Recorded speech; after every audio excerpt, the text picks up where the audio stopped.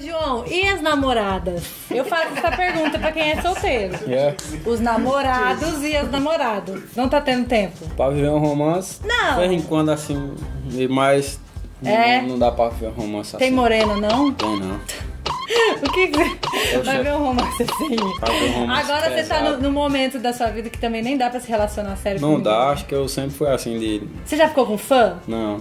João. Elas viram fã depois. Oi,